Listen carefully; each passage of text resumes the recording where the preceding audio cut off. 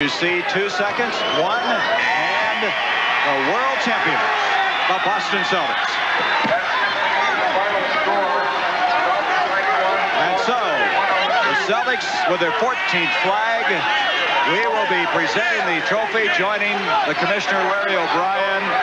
Will be in the presentation area. We'll also be going to Rick Barry. And let's go to Rick now. Bill, we have a very jubilant Boston Celtic team as they come into the locker room now, the champions of the world. Larry Bird. Larry, Larry. Get some... Larry, Larry, come here. I talked to Larry Bird, who just came on incredibly strong at the end. Larry, there's a lot of talk about the great defense done on you. Your shooting wasn't going real well, but you really came back with a super performance. How do you feel about having come so close in college, and now you're in the pros, you've got the big one? No, this is a very big one for us. We practiced awful hard this year. We stuck together. When going got tough, we came through. They came back on us, but not good enough. They're taking care of Larry here, and he's the man who did it. Larry, what was going through your mind at the end there when your team was struggling and the Rockets made that gallant comeback, and you just took over? Well, I knew if we just made a couple baskets and uh, kept our poise, we'd come through like always. Guys just kept on playing hard. We got a couple baskets, and we done it. well, this is one of the dangers of being in the winning locker room. Congratulations. Thank you, Rick. You're going to deserve it. Let's get Robert Parish. Robert. Robert Parish. Well, they're taking care of a little business with Robert. Robert, you had a great game out there. And you were the fellow that got him going early, and you came back after that foul trouble. How does it feel to have it all? It feels very good. I'm happy to win it all. It's that. Robert go and dry off a little bit. Let's get some of these other players. ML, ML, come on in here. I see you said you're going to do what you had to do to win, and you did it. We went out and we played. We played the game the way the Celtics are supposed to play. Got to be the happiest moment of our life.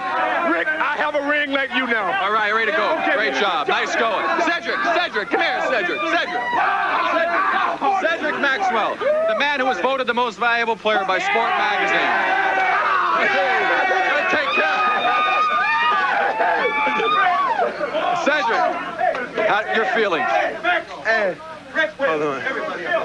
Bill Fitch has said, hold on for a second. He wants to say something to his ball club.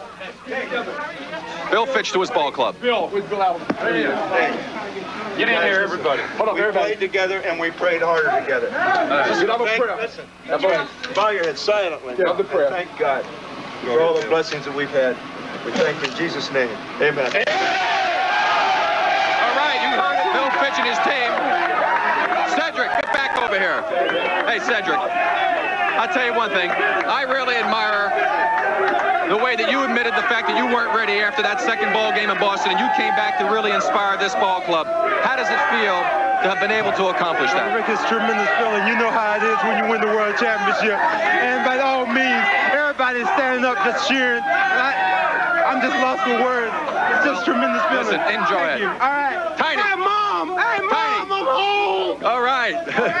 Tiny, come here, Tiny.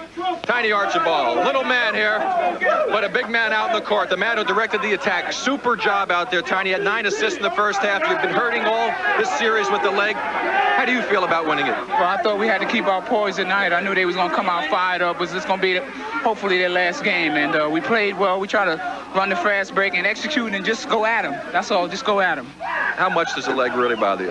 Well, you see, I didn't penetrate as much as I could, but I just try to pick my spots and try to keep the keep the team going. And that's my job, Rick. Not to score anymore, but keep the team going. And uh, I'm glad we just won. Hey, listen, join the fellas. Everybody's going out. They've all left the locker room because they're having the trophy presentation, and Bill Fitch wants his entire team to join that presentation. And so we'll go to Gary right now for that.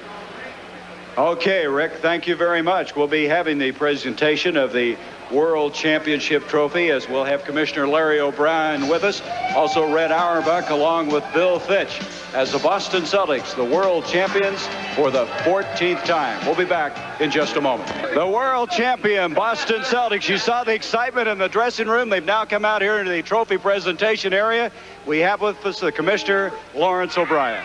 Thanks, Harry. First of all, I'm sure nobody will mind. Let's say a good word for the Houston Rockets. They did a terrific job, and they're doing right. And the people of Houston should be proud of them. Gavin Maloof wants to shake hands with Harry Mangurian and congratulate him, the owner of the Rockets, the owner of the Celtics.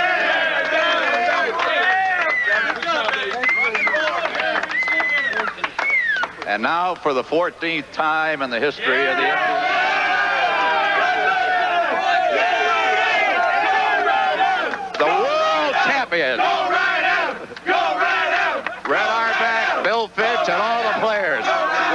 Gentlemen come over here? Harry? I'm going to let you... To the world champions, the world trophy, you are truly the champions of the world once again. Here we go. Well, thank you. And this belongs to you permanently, Harry.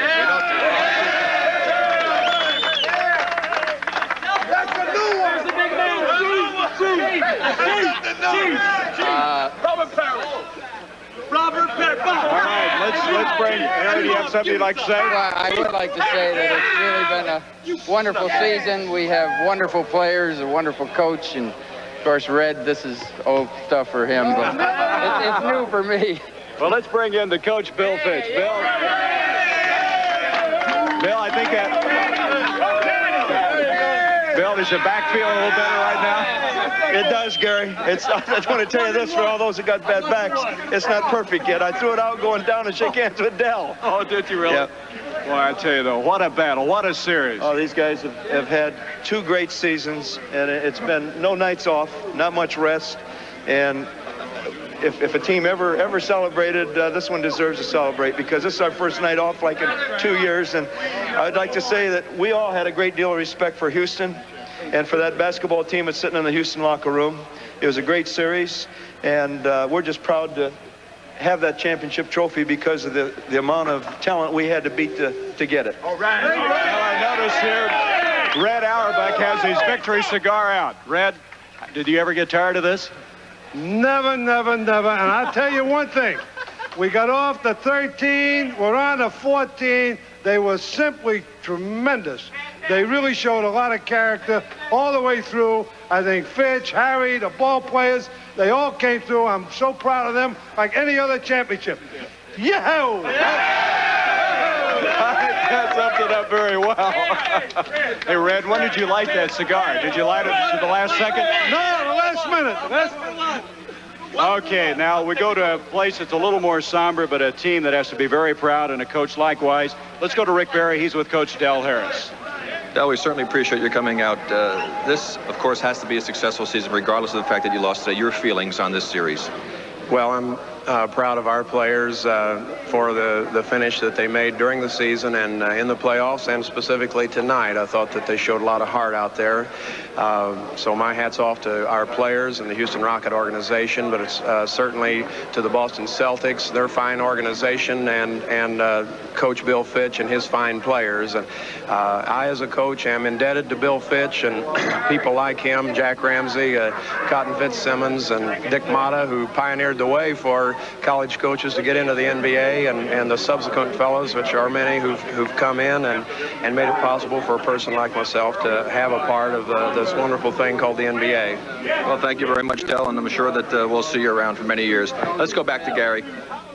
Okay, Rick, what excitement here as this 1980-81 season has come to a close. The MVP is Cedric Maxwell, who had 24 points, 28 in the game that they won Tuesday and coming back so strong in this game tonight as the Boston Celtics are the 1981 NBA World Champions.